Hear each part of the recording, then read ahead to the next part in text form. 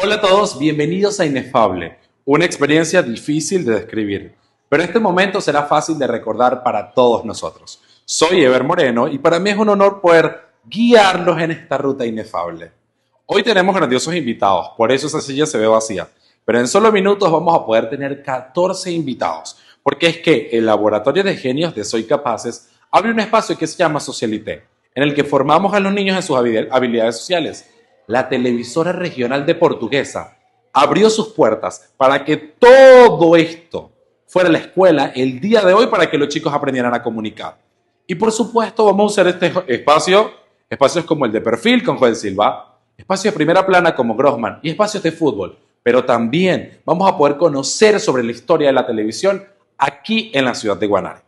Así que para nosotros es un gusto que ustedes puedan disfrutar de esta entrevista, porque vamos a aprender de estos chicos que tienen grandes pasiones y que seguramente estos soñadores van a ser hacedores de esos sueños. Así que disfruten de Socialité y de toda esta entrevista aquí en Inefable. Continuamos aquí en Inefable, una experiencia difícil de describir, pero este momento es fácil de recordar porque el Laboratorio de Genios ha invadido la televisora regional de Portuguesa y este espacio se vuelve mucho más ameno aquí en nuestra casa de TRP. Hoy tenemos tres invitadas maravillosas, la hermosísima Antonella, por supuesto, Isabela y Ámbar. Tres figuras maravillosas que les gusta la moda, les gusta el buen vestir y que hoy vamos a poder conocerlas un poco.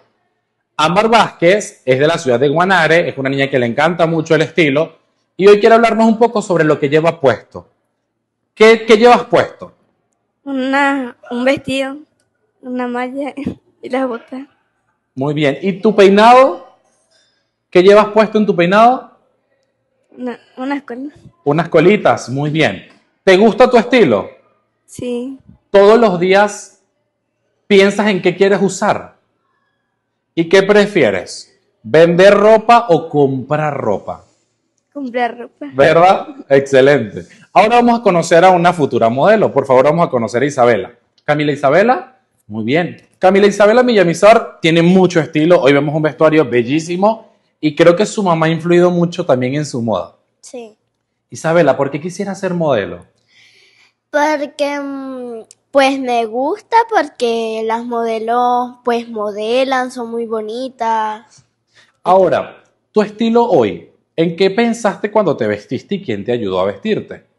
Me ayudó mi mamá y pensé que esto pues me iba a quedar bonito. ¿Tú escoges tu ropa o la escogen en conjunto? Eh, yo la escojo. Muy bien. Pero me gusta que es proporcional. ¿Qué piensas tú de las chicas que son muy niñas, pero a veces se quieren poner ropa de muy adultas? No, pues no me gusta. ¿Por qué crees que no está bien? Porque todavía son unas niñas y se quieren poner cosas de adultos y cosas así. Así es como es bueno vivir lo que nos toca. Mira, creo que vas a ser una modelo hermosa, ¿oíste? Bastante. Ya eres una niña muy, muy guapa. Y ahora vamos a conocer a Antonella. ¿Cómo estás, Antonella Gil? Bien. Antonella, mantente eso. Anto, cuéntame un poco. ¿Tienes un emprendimiento? Sí. Háblame un poquito sobre la moda y sobre cómo ese emprendimiento ayuda a que las mujeres se vean más guapas. ¿Qué haces tú con tu mamá? Yo vendo lazos y cintillos y esas cosas. Muy bien y tú mismas las creas con tu mamá o la compran y las venden en otro lugar? Las hacemos. Ah, por ejemplo, ese que llevas puesto, ¿lo hiciste tú? Ese que tienes allí. No, es, ese lo compramos. Ok. ¿Y qué tipo de cintillos, qué colores te suelen gustar? El rojo, el rosa y el plateado. Muy bien. Hoy también andas muy, muy bien vestida, ¿verdad que sí? Luces muy guapa. ¿Quieres mandarle un saludo a alguien por allá en la televisión? En tu casa. No, no le quieres mandar saludo a nadie.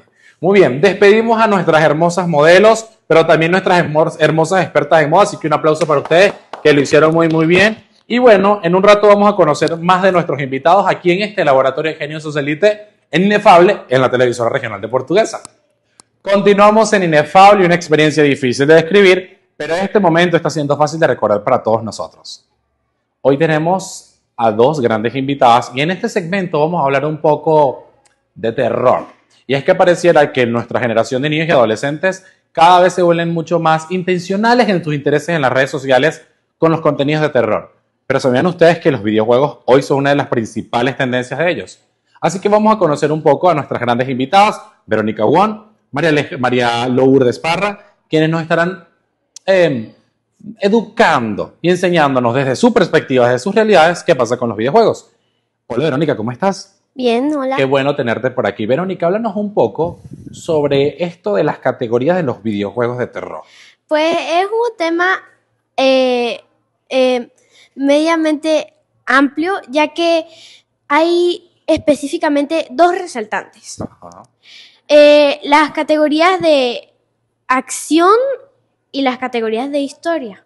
ok. Esas son las dos más resaltantes, ya que las de historia normalmente se suelen leer, no tienen mucho sonido y no tienen mucha animación y suelen ser en 2D. Ok. Al cambio, las de acción eh, suelen ser en 3D, suelen tener eh, alguna, alguna vía en común, porque normalmente los de historia suelen tener varios finales. Ok. Pueden tener el final dependiendo si tú comes un sándwich de mermelada y el final si tú comes un sándwich de jamón y queso. Ok.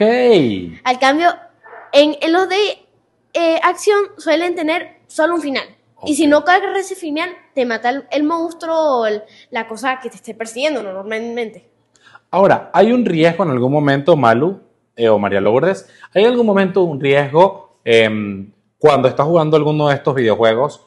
¿Cuál es realmente incluso tu interés principalmente? Mi interés es de aventura, descubrir. En cosas este caso de- son los que ella cuenta como los de acción.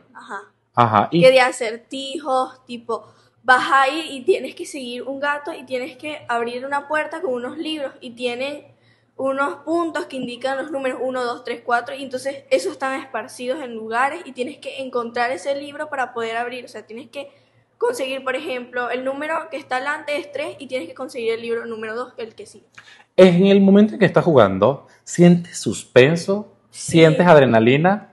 ¿Sientes una sensación pequeña de miedo? Sí, la verdad, la que más siento, la sensación es de descubrir, o sea, qué va a salir. ¿Cómo- ¿Algún videojuego que quieras nombrarnos que, para que los papás puedan buscar o conocer? The Baby in Yellow o en español, Bebé de Amarillo. Oh. En amarillo. Ok, ok. Em, vamos a conocer en este caso, Verónica, me habías contado que en tu caso los, los de mayor interés son los de las historias. Sí. Eh, Aunque- Háblanos de uno en específico. Uno en específico, yo soy muy mala con los nombres Ajá. y no me lo sé. Tengo dos que son de mi preferencia enamorados. Ajá. Uno por lo menos que te voy a explicar algo. Él es de cartas. Tú sabes esos típicos de cartas que jugamos en la computadora solitario. Ok, claro. Ese típico, normal, eh, bueno, lo mismo pasaba, pero era con la carta de mayor valor. La carta de mayor valor ganaba, pero tenía un contrincante que no sabía su carta y había diferentes reglas. Por lo menos, si tú sacabas en la derecha dos, un número par, le das cinco puntos al contrincante. Ok. Eh, y por lo menos hay otros que son más bien de una historia eh, terrorífica y traumática. ¿Te llegaste a asustar en algún momento? Sí, por lo menos hay otros que son que empiezan común. La niña se quedó sin comida, va a la tienda, se compra el pan y se lo regalan ya que no tiene dinero. Ella siempre anda diciendo que sus padres están enfermos. ¿Por qué? El final que muy revolutivo, que un doctor la visita, que y el doctor se lo come. Un monstruo que en su sótano. Yo la verdad no llegué al final, así que no puedo. Y además no los spoileo. Ah, exacto, muy bien hecho, muy bien hecho. Pero el total es que el, el monstruo se lo come y lo único que sé es que o es que es un familiar o es que alguien se transformó. Porque al final solo se muestra la cara y ahí yo terminé por accidentes con mamás. Ahora, es importante ver esto, pero ¿cómo manejan ustedes, en este caso Malu, la preocupación de sus papás cuando ven esos videojuegos? ¿Se alarman, se asustan, les han dicho algo? Pues sí, yo la verdad le estaba contando a mi mamá de ese juego y, de, y se asustó, puso una cara como de trauma. Entonces yo le dije que no se preocupara porque no me da mucho miedo, la verdad es de aventura, descubrir y o sea, a mí me encanta eso. También pasa con un juego que es de eh, Poppy Playtime, que ese no me gusta mucho, pero es divertido porque es muy oscuro, la zona es muy oscura y es más como de miedo y entonces no los veo mucho porque me cuesta mucho dormir en la noche. Ok.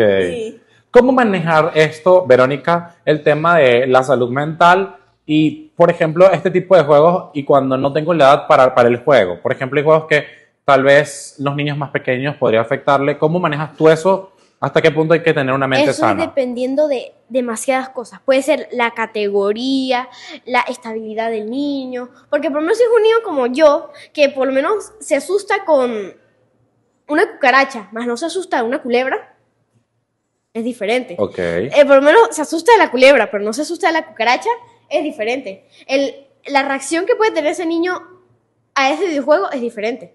Todo puede ser, por lo menos en esos juegos de historia que yo suelo jugar, normalmente la sangre, aunque no es, es como una mancha de ketchup porque la animan muy mal, eh, porque los míos son como, más bien yo siempre juego eh, minimalista Ajá. eh, como así, de ese modo. Entonces, ahí. Y la sangre siempre como la medio censuran. Ya de por su media. Muy bien. Ya de por sí su mala animación, ahora como la censuran. Entonces, hay veces en donde la escena es como que se comieron al doctor y le salpicó a la niña. Y la niña está toda censurada en las Claro. Pero de algún modo no tiene tanto riesgo gráfico o violento. No, sino que, pues eso es como saber que maté un mosquito y salpicó sangre ahí. Malu, ¿qué recomendación le das ya para terminar eh, a los papás que normalmente no entienden sus videojuegos? ¿Por qué les gustan a ustedes? ¿Y qué consejos le harían a los papás para que ellos tengan un poquito más de comprensión a ustedes? Bueno, pues la verdad que o sea, también hay que andar pendiente de qué juegos hay porque hay unos que no censuran nada, como las de Verónica, o hay unos que son muy traumáticos, como para mí, eh, Poppy Playtime no, yo veo, yo no juego, pero me llaman mucho la atención esos juegos. Yo solo veo videos porque mi teléfono es un poquito viejo y no lo juego, Muy bien. pero veo videos. Entonces, en este caso, el consejo para los papás sería como investigar más sobre el videojuego, Ajá. ¿sí? ¿Y qué, qué recomendación final me das, Verónica? Ya pues, estamos terminando. por lo menos no tanto es el juego, sino el peligro que tiene socialmente. Ya que hay juegos que no son para nada terroríficos, como Roblox. Son Ajá. juegos normales y corrientes, pero tienen un riesgo social mucho mayor, de un Claro. secuestrador, un acusador. Pero hay juegos como ese que más bien lo que preocupa es que se asusten. Pero no son juegos se- de comunidad, Exacto, si no son online, son más seguros. no hay ningún problema. Por lo menos, Poppy Playtime, el peligro es la historia que conlleva, que puede dar tristeza, más bien no miedo. A mí me dio tristeza, no miedo. Hay personas que les dan miedo. Así Eh, es. a mí el de El bebé amarillo, vamos a llamarla así porque no me acuerdo del nombre en inglés. porque si no le digo el bebé diabólico, Ok. eh, tampoco da tanto miedo, sino en algunas partes que es cuando te atrapa el monstruo, porque esos juegos normalmente siempre te persiguen un monstruo. Así y los es. juegos de, de, mm, de historia tienes que descubrir eso que tanto te ocultan. Así Por lo menos el de cartas era conseguir la cara de tu esposa que te había robado ese coleccionista. El de comerse eh, era descubrir que viene el sótano, que yo al final no descubrí que si eras que se transformó el padre, no entendí, pero Ok. Bueno, es un gusto poder escucharlas a ellas, es un gusto poder saber sobre estas historias y también entender que como padres, pero también como amigos, como hermanos, como primos, el saber los contenidos que ellos consumen nos permite también entender la generación que está creciendo. Creo que le deberíamos tener temor más bien a la distancia y si nosotros podemos jugar con nuestros hijos, tal vez podemos asustarnos con ellos, pero también divertirnos con ellos. Así que gracias chicas por acompañarnos en Inefable y bueno, ahora nos vamos justamente con otra entrevista. Seguimos en esta experiencia inefable, una experiencia difícil de describir, pero este momento está siendo fácil de recordar. Socialité se vuelve un espacio para poder mostrar y entrenar a aquellos que van a ser nuestros próximos comunicadores, pero aquellos que tienen ideas que conquistan. Hoy tenemos a dos invitados, dos genios que tienen ideas grandiosas y que van a conquistar nuestro mundo. Por supuesto, José de Jesús González y nuestro gran amigo Carlos Santiago, quienes juntos hoy nos van a hablar un poco sobre un tema de opinión. Pero adivinen qué, invadimos el espacio de primera plana y por eso queremos agradecer a Grossman Parra porque nos brindó este espacio y porque nos permite hablar un poco de opinión, porque es que el tema de ellos es bastante interesante. Chicos, hablar de los animales es un tema mm, peculiar, parece sencillo y lindo, pero ¿qué pasa cuando un animal no pertenece a esa zona geográfica? Háblenos un poco de esto, Carlos Santiago. de respecto a los animales, cuando no están en su hábitat, tratan de conseguir un lugar que se sientan cómodos, pero casi nunca lo consiguen. Eh, por ejemplo, como los hipopótamos que llevó Pablo Escobar Gaviria a Colombia. Muy bien, esos, eso, esa situación, ¿conoces más de esa historia? ¿Cómo fue? ¿Sí? Ajá, acerca un poco el micrófono y me cuentas más. Ok. De lo que se trata es que Pablo Escobar Gaviria era un narcotraficante y entonces se le pareció que era una idea muy perfecta traer los hipopótamos de África a Colombia. Y en Colombia, ya después de que de su fallecimiento, los hipopótamos están libres y Colombia los considera como una amenaza. Ok, José de Jesús, ¿por qué se vuelve una amenaza? ¿Y cómo afecta esto de, de traer hipopótamos de África a Latinoamérica? No estamos hablando de un zoológico, estamos hablando de liberación. Bueno, eso es muy peligroso en caso de que logren escapar de donde los tienen jaulados o de su mini hábitat, Ajá. ya que los hipopótamos tienen una fuerza en la mandíbula increíble, capaz de destruir personas de un solo mordisco. Y pues Hoy, ¿sabes cuántas, cuántos animales se estiman que había? Se dice que iniciaron, creo que era con dos hipopótamos o cuatro. Sí, y hoy se hablan incluso de 200 hipopótamos aproximadamente en la zona colombiana. Em, ¿Por qué crees tú que nosotros deberíamos comenzar a tomar conciencia y no hacer ese tipo de cosas como traernos animales a lugares que no son su, su hábitat? porque es demasiado peligroso en caso para nosotros, los humanos, y para los animales, porque ellos no están acostumbrados a tener un hábitat diferente al de la sabana donde ellos vivan. Muy bien. ¿Qué, opinas tú, Carlos, sobre la forma en la que ahora esto debería abordarse?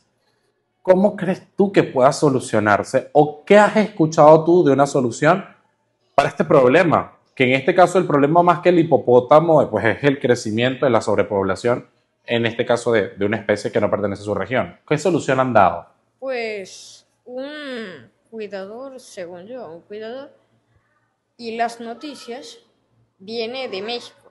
Y al venir de México se, se hizo un pasaje así por Colombia y al momento de pasar por Colombia vio las noticias y cuando vio las noticias de los hipopótamos, bueno, pues dijo que podría cambiar los hipopótamos de Colombia a México. Sería una perfección y así no, no mantendría en riesgo a los hipopótamos. Claro, uno de los errores más grandes es que han promovido la exterminación. Y creo que nunca va a ser una solución eliminar una vida, sobre todo de una especie que no tiene responsabilidad, porque en tal caso la responsabilidad es netamente humana y el traslado lo hizo fue un humano. Chicos, realmente yo estoy contento de que ustedes hayan traído este tema a Inefable a través del espacio de primera plana aquí en la televisora regional de Portuguesa, porque es necesario opinar sobre las cosas que están mal y cómo podemos hacer que funcione. Gracias verdad por acompañarme, un aplauso para ustedes porque lo hicieron genial y bueno, espero que puedan ver más de este y otras entrevistas aquí en Inefable. Hemos disfrutado de muchas entrevistas, pero ahora nos vamos nuevamente con tecnología. Así que vamos a conocer a nuestros dos invitados. Leandro González y Gianfranco Santoro Hola. nos van a mostrar un poco sobre esto que se volvió ahora una tendencia a través de los streaming y por supuesto aquellos influencers que están en estas plataformas y que no solo están teniendo una audiencia increíble, sino que también están ganando mucho dinero. Cuéntame un poco, Gianfranco. ¿Cómo inicia toda esta plataforma? Y hablamos un poco del Twitch o de lo que conoces y esto de los streamers. Bueno, este, pues los streamers, ya a, medida que vayan pasando los años, pues fue, mm, eh, o sea, hizo mucho entretenimiento, pues. Y entonces, ahorita mismo en la actualidad, pues muchas personas ven streamers y pues yo también veo streamers, pero en la plataforma de YouTube. La de Twitch, no, porque a veces como, a veces se me complica un poco cómo usarlo porque se me descontrola a veces. Ok. Ahora, ¿cuáles son en este momento para ti, eh, Leandro, los, mm, en este caso se les llama streamers, ¿sí? Es el término. ¿Cómo se- ¿Cuáles son los streamers más populares en tu consumo? Por ejemplo, lo que tú más consumes. Bueno, eh, de los que yo más consumo son Ibai, Spring, Juan Guarnizo, Carrera, entre otros que crean contenido de muy buena calidad, que es disfrutable para su comunidad. ¿Cuál es el enfoque en- entre ellos? ¿Qué tienen en común para que te guste tanto? O sea, específicamente, por ejemplo, Spring, ¿de qué habla? Spring, pues, sobre comprando cosas que no pudo de chico, eh, jugando videojuegos con otros streamers, entre otras cosas. Excelente. O sea que para ti es importante el hecho de que la persona ayude a su estilo de vida y muestre en pantalla lo que hace. Sí. Ahora, ¿de qué forma ganan dinero? Pues a través de las donaciones y también mayormente los streamers no solamente graban en vivo, sino que también en sus canales de YouTube. Ah, muy bien. Es decir, que YouTube también puede pagar por este contenido. Igual Ahora- que TikTok. Ok, muy bien. Ahora, eh, Gianfranco, ¿cómo se mezcla ahora este tema de los streamers y el deporte? ¿Y en, en qué punto la King League ahora también se vuelve una, una referencia en el deporte a través de estas transmisiones? Bueno, pues la Kings League, pues yo pensé que, bueno, se hizo como, o sea, como siempre, los streamers planeando cosas así de fútbol porque les gusta demasiado. Pero no sabía que se iba a hacer tan viral. Entonces me decidí a verlos y pues es muy entretenido. Pues por ejemplo, si no tienes nada que ver en YouTube o en Twitch también, en las plataformas que los, los streamers también, también hacen, pues lo veo, lo veo siempre en YouTube. ¿Crees que, y te pregunto aquí, yo sé que no tiene que ver mucho con el tema, pero ¿crees que el impacto también tuvo un empuje porque estaba Piqué específicamente? Y todo este revuelo de noticias. Bueno, sí, porque yo pensé que la Kings League era hacer de puros streamers, pero yo lo único que yo no sabía y lo inesperado era que era Piqué. Y otra cosa, que mm, un equipo que se llama, mm, que es el streamer Ibai, Ujú. que se llama Porcinos FC. Entonces, él invitó a un jugador que ya está retirado, muy conocido, que se llama Ronaldinho. Ok. Y eso no me lo esperaba. Yo me sorprendí como que, madre, o sea, ficharon a Ronaldinho en el Porcinos FC. Y entonces se hizo demasiado viral y el equipo y el equipo ganó más, Popularidad, Más dinero, popularidad, o sea, sponsors. ajá, sí. más seguidores, o sea, porque pura porque ficharon a una Figura. a una figura, o sea, en las cartas, por ejemplo, en FIFA, pues aparece Ronaldinho y con una carta así que ya es leyenda, pues ya se retiró, pues. Exacto. algo Muy así. bien. Qué bueno ver el impacto, pero ¿qué recomendaciones le dan en este caso ustedes a sus papás que a veces no entienden mucho sobre el streamers? Leandro, ¿qué podrías contarnos y qué consejos le das a los papás? Pues que vean tutoriales, específicamente uno mismo enseñarles a ellos cómo usar, usar las plataformas, porque a veces hasta nosotros mismos se nos complica. Entonces imagínate a ellos. Así es. Entonces es mejor que vean tutoriales, así de configurarla, iniciar sesión en, en las plataformas y entre otras. Muy bien. Y eh, Gianfranco, un consejo que le quieras dar a esos deportistas que tal vez eh, pues quieran usar el streamers como o el streaming, perdón, como una oportunidad para mostrar su talento. Bueno, para mí puede ser una buena elección, o sea, cuando se retiren ya. Ok. Porque hay un jugador que se llama Kun Agüero, Ok, el Kun Agüero, claro. este, que ya es streamer y vive en, en Miami, y, o sea, él anda haciendo stream de jugando FIFA o puede ser algunos juegos que unos que ya están pasados de moda que él lo sigue jugando que se llama, creo que creo que era Among Us. Ajá. Y bueno, él se la pasa ahí streameando. Excelente. Chicos, gracias por acompañarme. Leandro, Gianfranco, lo hicieron excelente y para nosotros fue un gusto poder aprender más del contenido de ellos.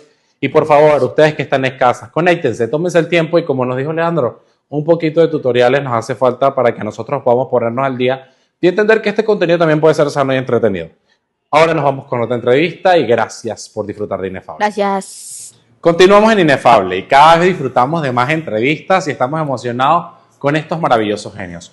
Hoy tenemos a dos genios que también son apasionados del videojuego y que ellos nos vienen a educar desde su perspectiva un poco sobre dos juegos claves.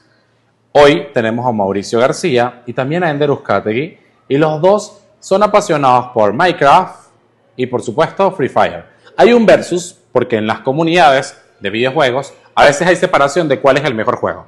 Pero vamos a conocer un poco Ender. Ender, ¿cuál es el juego que te gusta y por qué crees tú que es mejor? Free Fire. Porque ¿Cómo es Free Fire? Explícame cómo es Free Fire. es como de pistolas, me gusta. Ajá. también es como que divertido porque se puede jugar con personas, hay rangos, uno se puede cambiar la ropa, puede mejorar las armas. Ok. Ok, ahora, ¿qué riesgo tiene jugar Free Fire? ¿Algún momento puede ser peligroso jugar Free Fire? No. Si uno juega mucho, Mm, Ah, exacto. ¿Qué pasa cuando juegas mucho y de repente te quitan el teléfono? ¿Te enoja? algunas personas sí, pero otras no. Ok. Vamos a hablar un poquito con... Otras más o menos. Ok, vamos a hablar un poquito con Mauricio. Mauricio, cuéntame un poco sobre, en este caso, eh, Minecraft. ¿Por qué te gusta Minecraft preferiblemente? Pues porque tiene modo creativo, tiene también modo multijugador. se- Ok, hay una diferencia entre el modo creativo y el modo como competencia, creo, ¿no? ¿Cómo le llaman el otro? Supervivencia. Sí, el modo supervivencia. Muy bien, explícame un poco sobre supervivencia. ¿Cuál es la diferencia entre supervivencia y el creativo? Bueno, en el supervivencia tienes que tienes que talar árboles, tien- tienes que conseguir todos los materiales necesarios y como lo haci- y como lo harían personas normales, construir cosas, tradear con aldeanos Ajá. y otras cosas más, hasta conseguir una base oculta, prender un portal y vencer al, al dragón delfín. Ahora, ¿por qué crees tú que tu juego, Minecraft, es mejor que Free Fire? Pues no pueda, no digo nada sobre que Free Fire sea mejor de Minecraft, me gustan ambos, pero hay una clara diferencia que entre Free, entre Free Fire tiene varios modos para jugar, mientras que Minecraft tiene tres modos. En Java tiene el modo hard. Ok. Y en Minecraft solamente existe el modo supervivencia y el modo creativo. Y también lo que más me gusta de Minecraft son los secretos, porque así puedes entender un poco más del contexto que da el juego con nosotros. Excelente, me gustó escucharte, Mauricio, pero cuéntame, Ender. Vamos a a responderme una última pregunta.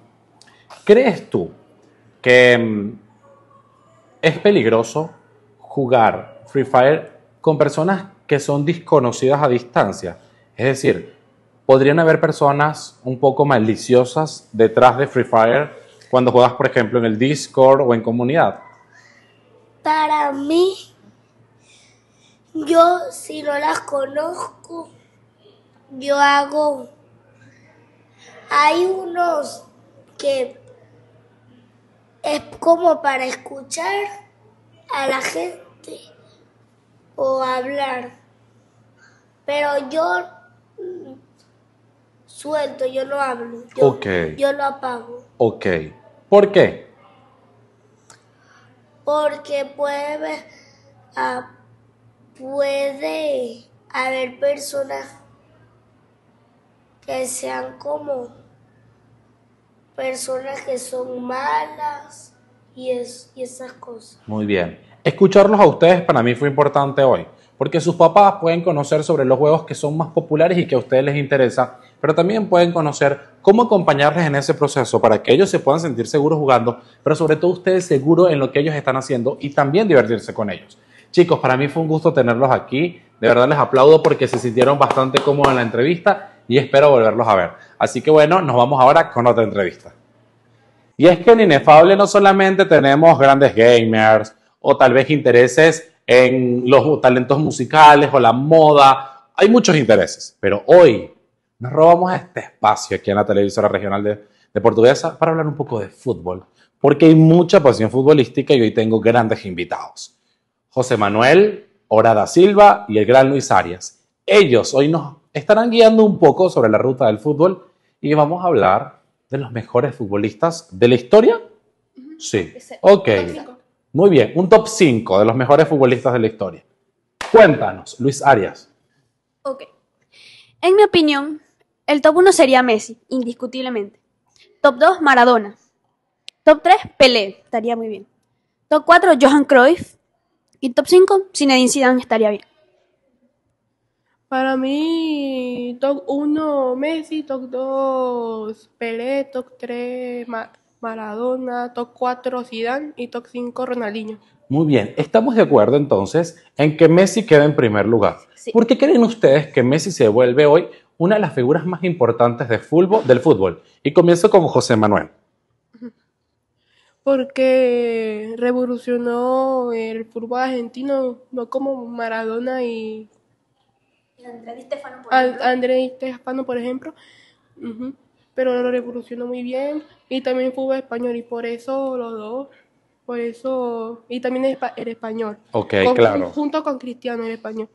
Exacto, ellos como que revolucionaron y revivieron mucha pasión futbolística. Ajá. Ahora, en este caso, para ti, Luis Arias, ¿cuál crees tú que es un momento histórico en el fútbol? Y puedes hablarme incluso de uno de los momentos que tú recuerdas, tal vez en un juego que tú hayas dicho, wow, esto para mí fue impactante. Yo diría que el, el penal de Roberto Baggio, ya que fue un jugador excelente de Italia y en una final Italia perdió 3 a 0 con Brasil, la final de la Copa del Mundo. En ese momento Roberto Baggio era un niño y le dijo a su papá, yo cuando sea grande voy a ganar la Copa del Mundo. Cuando llegó el momento y se encontró en la final, tenía que lanzar un penal, si lo, metía era campeón del mundo y si no era el contrincante. Lamentablemente lo mandó a las nubes, quedó 10 minutos enfrente de la portería con los. Uno de los momentos más tristes que yo he podido ver. Siento justamente tu energía y creo que es una de las cosas muy difíciles, porque cuando nosotros tenemos tal vez un sueño, creo que incluso cuando desde niño te determinas algo, aun cuando no lo hayas logrado tan exitosamente en la vida adulta, vemos resultados en el que en el fútbol hay historias de esta forma, de este, este tipo de historias grandiosas que nos erizan la piel. Creo que para ustedes también fue vibrante decir, wow, qué loco, pero ahora, un momento triste, pero ¿y si habláramos de un momento brutal, el mejor momento del fútbol, qué dirías tú, José Manuel?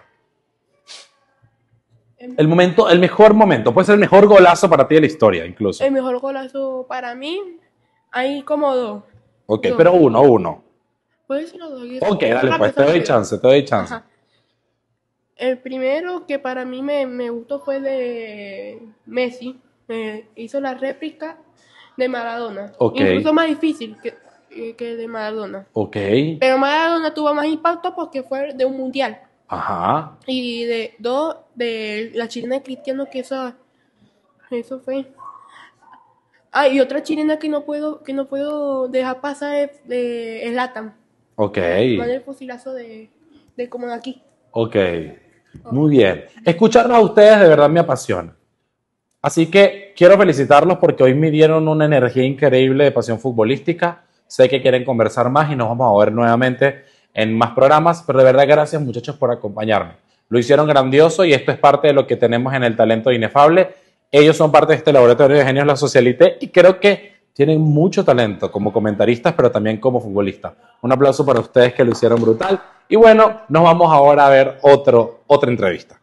Inefable, una experiencia difícil de describir, pero estos momentos están siendo fáciles de recordar para todos nosotros.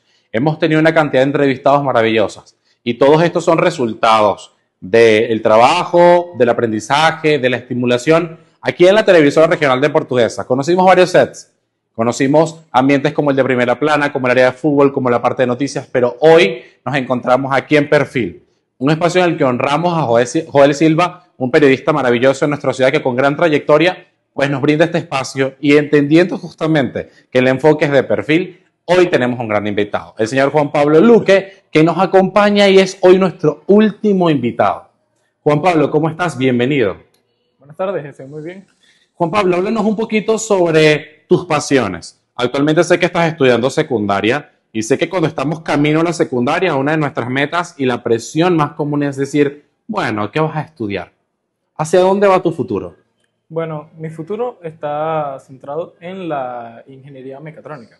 Yo quiero ser un ingeniero mecatrónico y para eso me estoy preparando actualmente para tener un mejor futuro, tanto en clases de oratoria como en inglés, para así ayudar a mi futuro. Esto es interesante, pero aunque tienes muchas habilidades, pocas personas saben, allí, en la televisión, o incluso fuera de la televisión, ¿qué es la mecatrónica?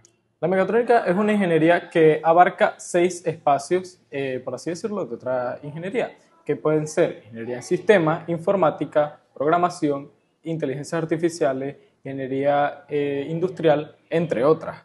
Es una carrera muy, muy con grandes campos laborales.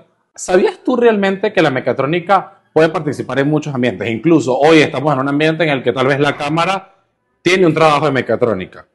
¿Has, has sabido cómo, o, o sabes realmente, perdón, cómo, cómo influye la mecatrónica en esa área? Por ejemplo, en la televisión.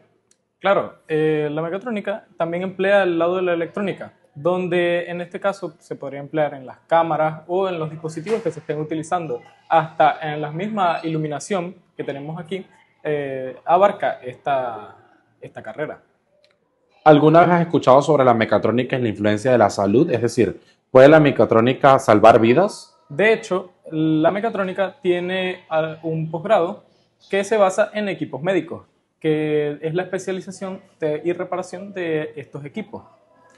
¿Cómo ves ahora tu futuro sabiendo que puedes estudiar una carrera que te apasiona, que te gusta?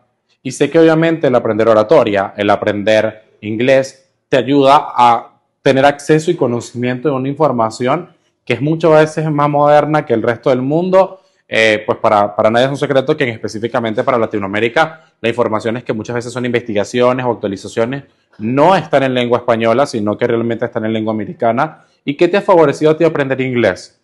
Bueno, principalmente, más que todo en la programación. La mecatrónica va, muy de la mano con la programación, eh, porque esta se encarga tanto del- de lo físico y lo digital. Bueno, el inglés eh, me, me ayuda, en la- ayuda mucho en la programación, ya que esta está eh, hecha en inglés y todos sus parámetros y, y toda su fórmula está en inglés. Excelente. Escucharte definitivamente me inspira a poder comprender lo que significa estudiar algo que realmente nos apasione, pero algo que tenga mucha identidad. Si tú tuvieras, tuvieras la oportunidad de tener una marca, ¿cómo se llamaría tu marca y qué relación tendría con la mecatrónica? Bueno, el, el cómo se llamaría todavía no, no lo pensaría, no lo he pensado. ¿Y en qué se relacionaría? Sería una empresa de venta y reparación de productos electrónicos, tanto con su propia página web digital y, y también su tienda física. ¿Crees que la mecatrónica también puede ser una herramienta sustentable para disminuir el impacto de la contaminación y el consumismo en el mundo?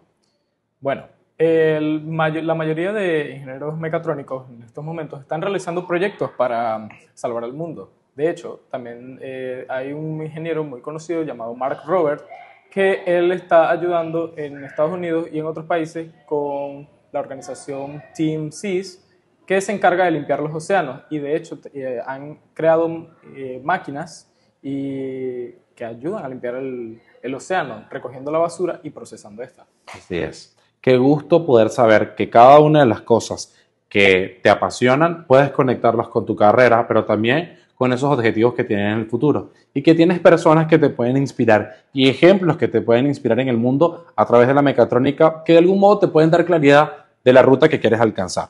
Mira, es un gusto poder haberte tenido aquí justamente en Inefable a través del espacio de perfil y por supuesto a través de la televisora regional de Portuguesa. Hoy vivimos una experiencia inefable. El mundo necesita soñadores, el mundo necesita hacedores, pero lo que más necesita el mundo son soñadores que hagan. Y tuvimos 14 soñadores que se presentaron en esta pantalla y que juntos pudimos conocer sus intereses, sus pasiones y su visión del mundo. Recuerden ver este episodio en la televisora regional de Portuguesa a través de TRP Canal 31 y por supuesto en el canal de YouTube TRP Canal 31 en la lista de reproducción de Inefable. Este es nuestro episodio especial porque recuerden que, bueno, por ahora no hay temporada. Pero sé que ustedes van a poder disfrutar de una nueva temporada muy pronto. Yo estoy feliz del resultado que tuvimos con los chicos y esto es parte de lo que trabajamos en Soy Capaces a través de mi marca y a través del Laboratorio de Genios. Agradezco muchísimo a la televisora regional de Portuguesa, a Chocotril Café y a cada uno de ustedes por abrir estos espacios para que nos sigamos educando. Nos vemos pronto y recuérdenlo con claridad. Para ser capaces se necesita de otros, pero eso será posible si ustedes existen. Chao, chao.